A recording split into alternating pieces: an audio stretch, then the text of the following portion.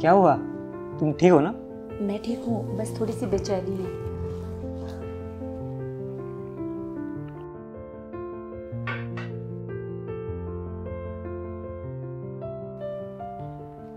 आप हमारी पहचान है। जो किसी भी बदलाव के सामने झुकी नहीं। मेनोपॉज 45 से 55 की उम्र के बीच होता है। मेनोपॉज के कुछ लक्षण हैं, जैसे कि गर्मी लगना, रात को पसीना आना, सोने में कठिनाई मूड स्विंग्स होना या चिंता करना। ये बदलाव के दौरान थामे खुशियों के हाथ नियोग्रेसिया के साथ।